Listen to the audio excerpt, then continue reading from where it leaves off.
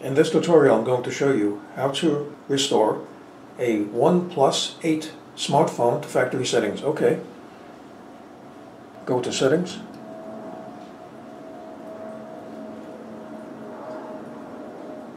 System. Reset Options. Erase all data. Erase all data. Confirm. Erase all data.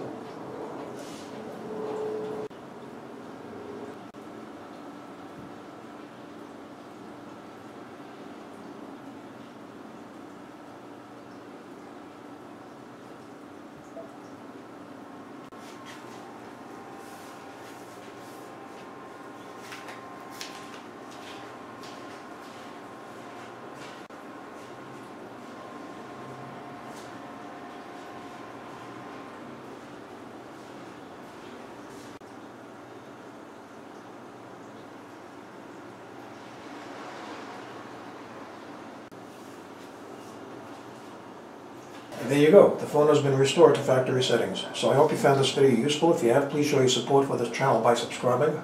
Feel free to leave comments. Please like up this video, and thank you for tuning in.